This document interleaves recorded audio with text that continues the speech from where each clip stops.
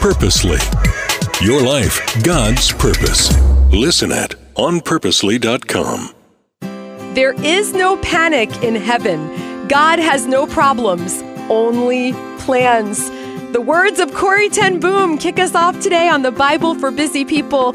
Corrie and her family hid the Jewish people in World War II, and their story continues to be told through a read I highly recommend The Hiding Place. It will change your life as you read about this family's faith and courage.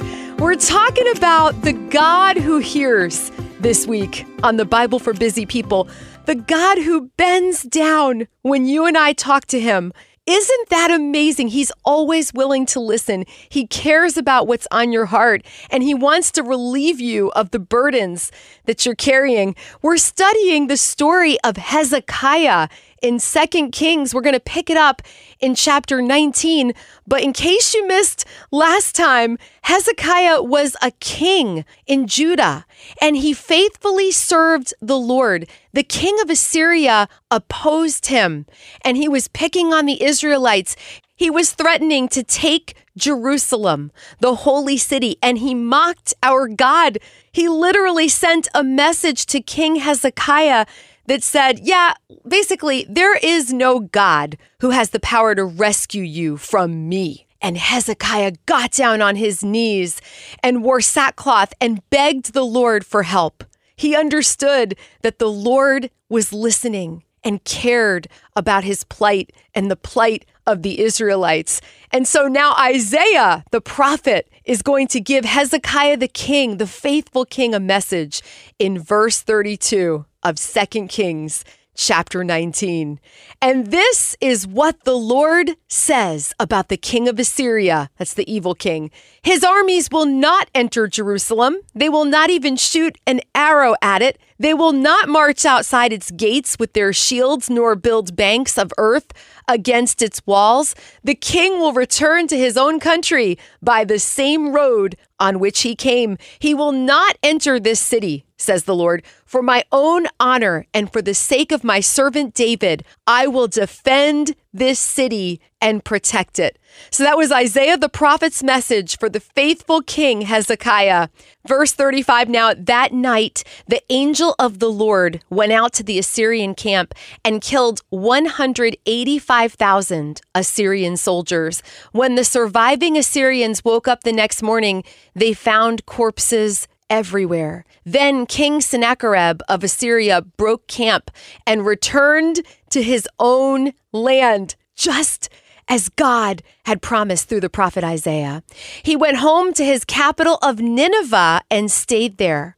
One day, while he was worshiping in the temple of his god Nisroch, his sons Adrammelech and Sharezer killed him with their swords. They then escaped to the land of Ararat, and another son, Esarhaddon, became the next king of Assyria. God listened to the prayers of Hezekiah and he answered those prayers. He is the same God who hears the prayers and your heart cries today. As long as you pray, he is going to bend down and listen. That's a promise from his word.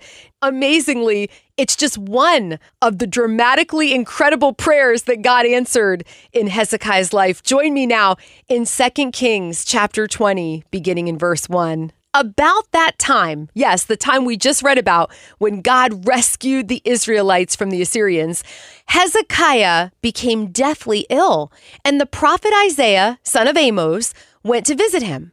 He gave the king this message This is what the Lord says Set your affairs in order, for you are going to die. You will not recover from this illness.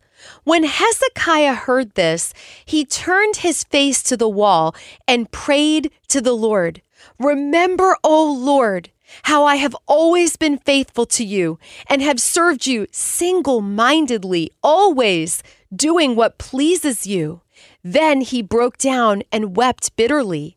But before Isaiah, the prophet now, had left the middle courtyard, this message came to him from the Lord Go back to Hezekiah, the leader of my people. Tell him, This is what the Lord, the God of your ancestor David, says I have heard your prayer and seen your tears.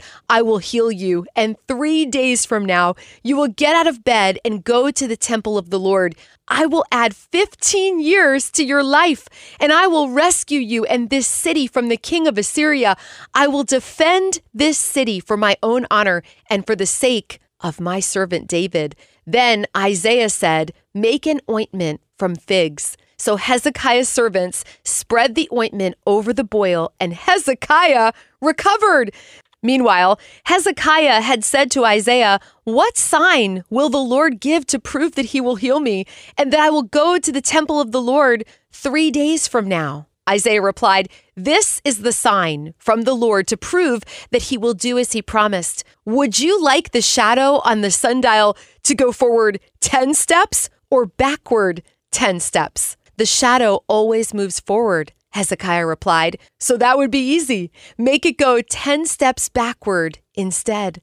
So Isaiah the prophet asked the Lord to do this, and he caused the shadow to move 10 steps backward on the sundial of Ahaz. Wow, Hezekiah's life is marked by answered prayers. How many pits did he find himself in? The pit of fear. Can you imagine what it would be like knowing there was an evil king that wanted to take your people and your land, the holy city? And yet, in that pit, he reached up to the Lord and asked for help.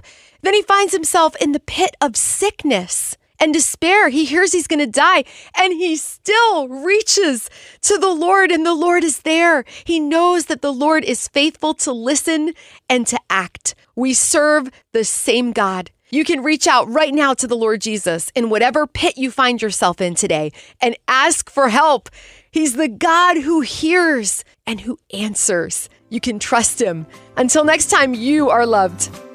Thank you so much for listening to the Bible for Busy People. If you need prayer or you're ready to go a little deeper in your faith, we've posted some resources for you in our show notes. We'd love for you to share this podcast with a friend and leave us a review. It helps us reach even more people with the hope of Jesus. This podcast is part of Purposely, a podcast network designed with practical podcasts to help you find and live in God's purpose for your life. Find more podcasts that will recharge you at onpurposely.com.